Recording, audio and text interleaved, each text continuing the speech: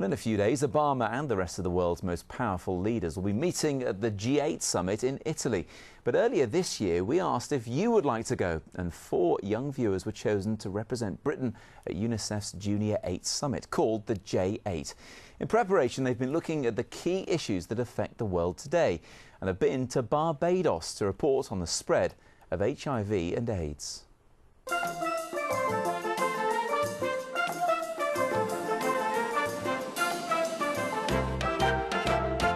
We are the lucky four who were picked to be the UK J8 team, and after a long flight, we finally arrived in this beautiful island of Barbados.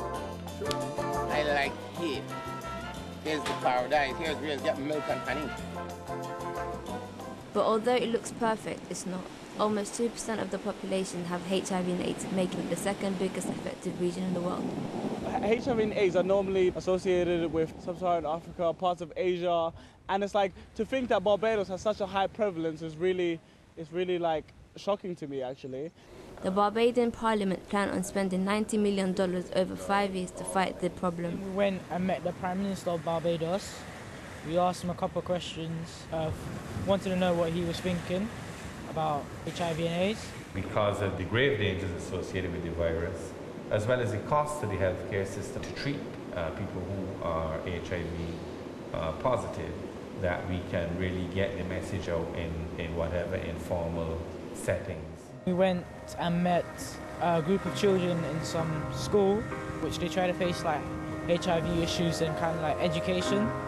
If you're willing to have sex, then you're willing to pay the consequence. We quickly realised the stigma surrounding HIV and AIDS in Barbados, something the government are trying to combat with posters all over the island. But it wasn't until we met Fabian that it all seemed real to us. His dad died from the disease.